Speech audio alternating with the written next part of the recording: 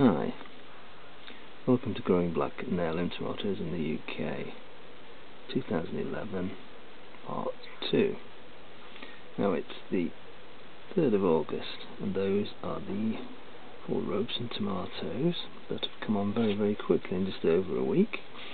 So here we are, uh, nice aren't they? Just over here we've got the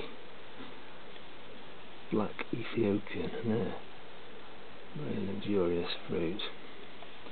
And here just over here we have the some more of the uh, Paul Robeson and they're looking really good. And they've really filled out just in a few days.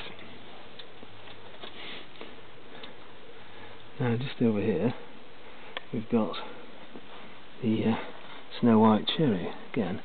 Those have done really really started to show in the last few days. And just here we've got the villager tomatoes and they've done really well as well.